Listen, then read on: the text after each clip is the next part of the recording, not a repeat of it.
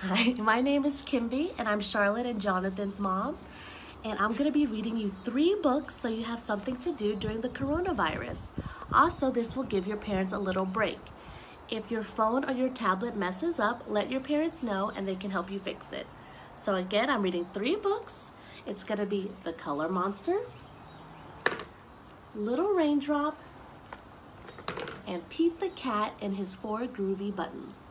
So Jonathan, which one should I read first? Color Monster. Here we go.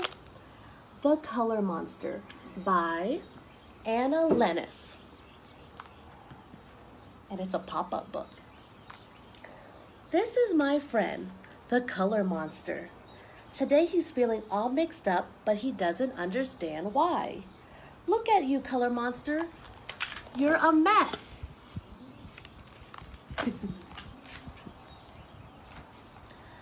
You've jumbled up all your emotions and all of your colors too. And it's a squiggly.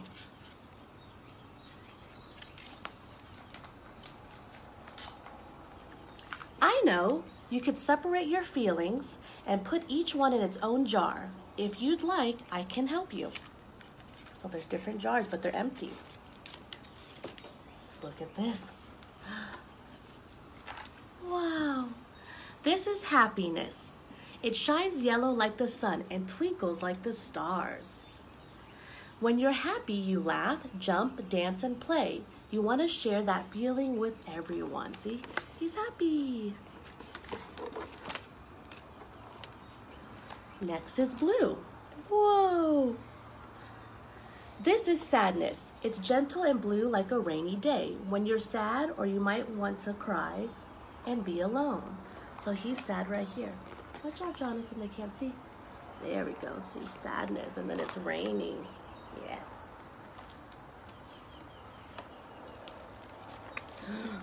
This is anger. It blazes red. Look how mad he looks. Ah! When you're angry, you want to stomp and roar and shout. It's not fair. But you shouldn't do that, right? But look at him. Wow, wow, wow. Look at this one. Ah. This is fear. So being scared. It hides in the black shadows. When you're afraid, you feel tiny and hopeless. Fear makes it hard to be brave. So he's right there in the middle. He's all scared. Look how big. This is calm. he's calm, like the trees outside. This is calm. It is light as a green leaf, floating in the wind. When you're calm, you breathe slowly and deeply. You feel peace.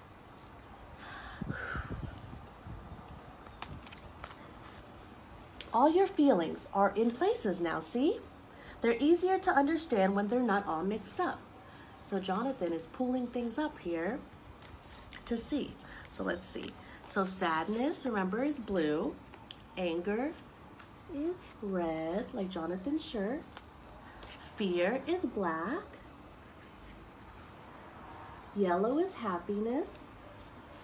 And then green is calm. Jonathan, can you step back really quick so they could see? Watch out. Here you go. That's better. And he's putting them all, closing them all. So that's when you separate your feelings so you know which one you're feeling. And you can feel a lot of emotions at one time. Thank you for helping me.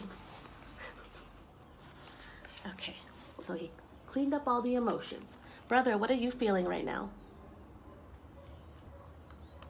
You're feeling happiness? Cute. Okay. But wait, this is the last page. There's one feeling left over. What could it be? Love. Cute. And I love all you guys. Thank you for listening. We have another story. If you want to take a small break to go to the restroom or get something to drink, go ahead. You can pause it and then we could go to the next story. Brother, which one should we read next? And I call Jonathan brother because that's Charlotte's brother.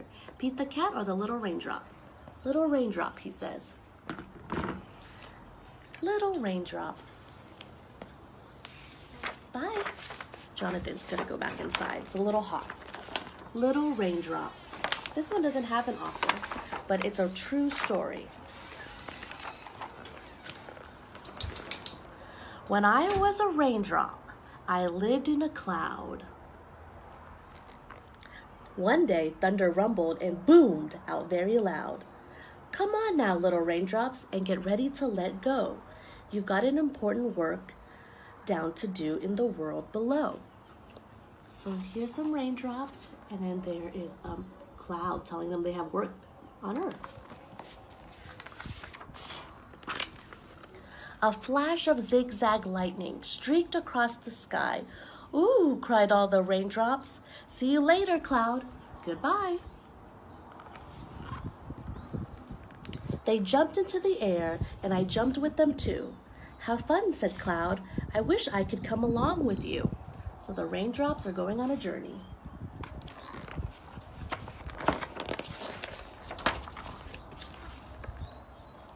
Down and down we fell, giggling and shouting, Wee! Oh, what fun to be a raindrop flying free. So it's raining. From high up in the sky, we saw the earth below. Sunbeams shone through us and made us a lovely big rainbow. Charlotte and Jonathan love rainbows. After that, quite suddenly, I landed with a splat and dribbled down the tail of a soggy farmyard cat. See? Oops, I seeped into the soil, trickling down and down past pink wiggly worms far below the ground. Worms?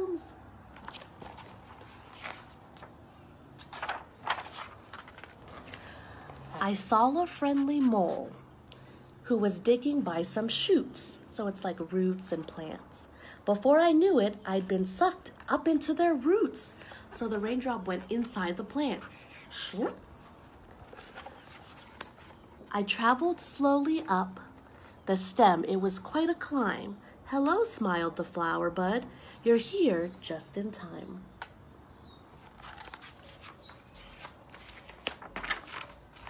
Ooh, look at this.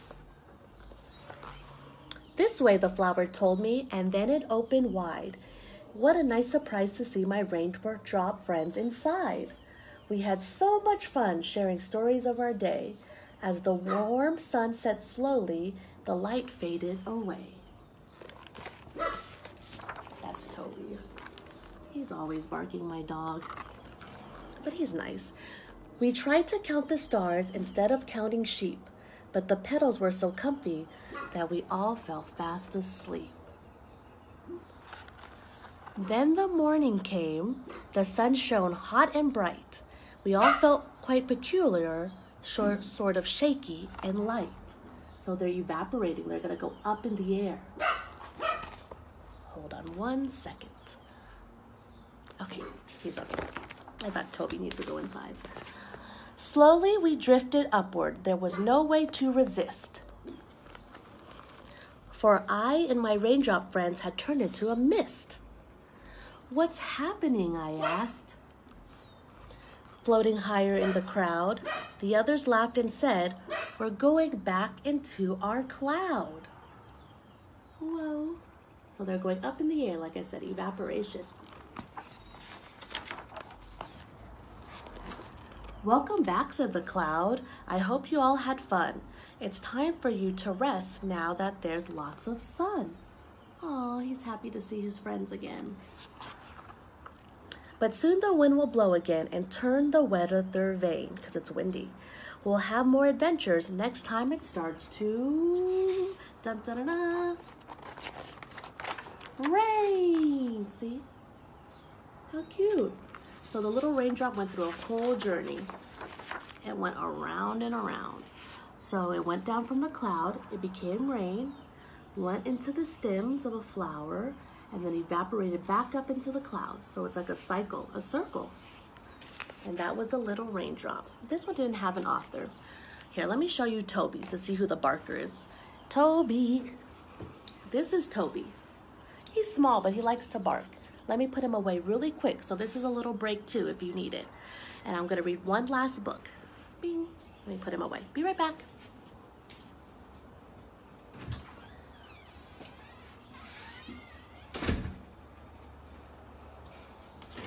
Hi again. And it's so good to see you. I missed you guys a lot. And I hope that you're enjoying these books. This is the last book I'm going to read. It's called Pete the Cat and His Four Groovy Buttons. My kids love this book. If you want to hear any other books, I have so many. Just tell your parents and then I could just record them and send it to your parents. So, here we go. Pete the Cat. Pete the Cat and his four groovy buttons. And this is a show too, I noticed. It's on Amazon Prime, if you have that. If not, that's okay. Pete the Cat and his four groovy buttons. And this is by Eric Litwin. And the art is by James Dean. I don't have any buttons on right now, but if I did, I would count them just like he's going to do. Okay, let me scoot over a little bit. Sorry about that noise. Okay, here we go. Pete the cat put on his favorite shirt with four big, colorful, round, groovy buttons. He loved his buttons so much, he sang this song. Four. Char not Charlotte, Charlotte's six. Jonathan is four years old. Four. My buttons, my buttons, my four groovy buttons. My buttons, my buttons, my four groovy buttons. One, two, three, four. Pop! Oh no! One of the buttons popped off and rolled away. How many buttons are left? So we had four buttons, but one popped off. So four minus one is how many left? Three, three, three. Four minus one equals three. Did Pete cry? Goodness no. Buttons come and buttons go, and he kept on singing his song. My buttons, my buttons, my three groovy buttons, my buttons, my buttons, my three groovy buttons. I'm not the best singer, but it's fun, right? Pop! Oh no! Another button popped up and rolled away. How many buttons are left? So he had four, then he had three. What's next? Two. Two. 3 minus 1 equals 2. Did Pete cry? Goodness, no. Buttons come and buttons go. And he kept on singing his song. My buttons, my buttons, my two groovy buttons. My buttons, my buttons, my two groovy buttons. and look, ice cream truck. I want ice cream soon. Pop! Oh no! Another button popped off and rolled away. See, now he only has how many left? And look at that ice cream, it looks good. My favorite is, what is my favorite? Cookies and cream. Charlotte loves cotton candy and Jonathan likes chocolate and vanilla. And their dad likes strawberry cheesecake.